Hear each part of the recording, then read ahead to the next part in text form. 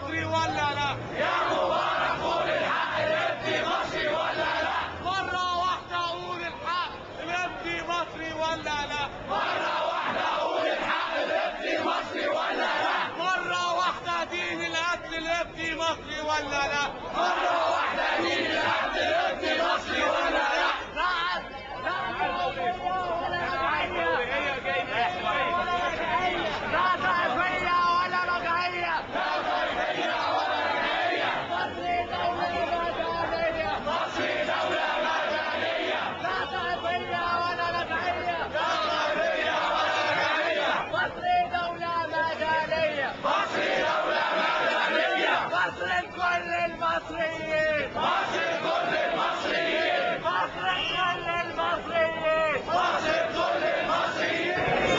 بص أنا جاي من الاسم خالد البلشي صحفي مصري.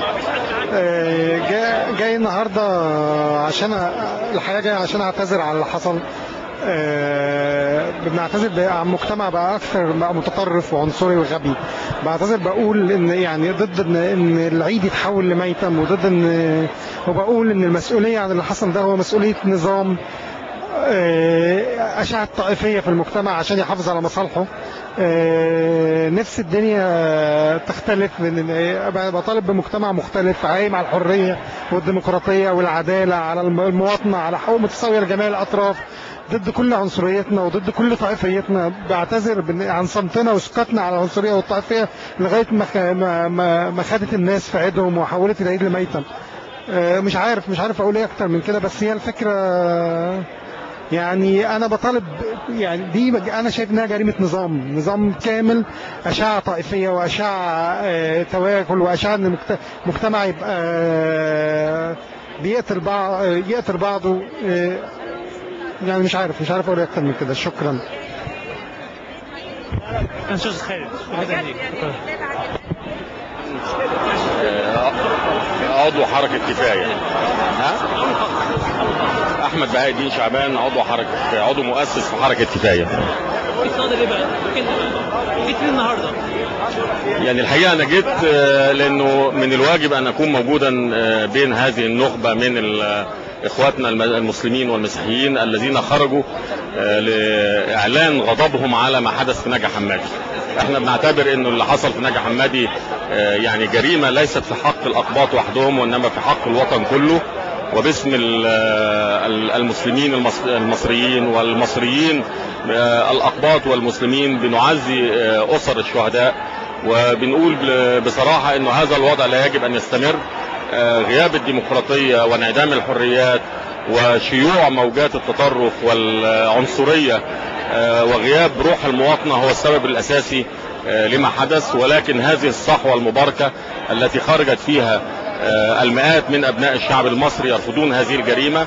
أكبر دليل على آه، ال- الجريمة لن تمر ويجب وضع حد آه، لكل هذه التجاوزات آه، ببناء مجتمع العدل والحرية والمواطنة الذي نناضل جميعا من أجل تحقيقه.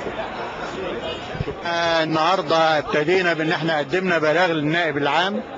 وقابلنا مساعد النائب العام وكان استقبال طيب وقدمنا بلاغين واحد فيهم خاص بتخاذل ضد وزير الداخلية وقيادات الأمنية في قنا وفي أسيوط لتخاذلها في آه، حماية المواطنين المصريين الأقباط.